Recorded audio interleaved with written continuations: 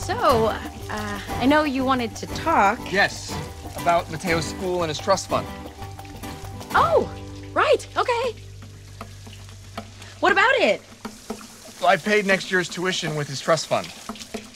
I just told you that I wanted to leave that school. Because they made you feel bad about not being able to pay tuition, so I solved that.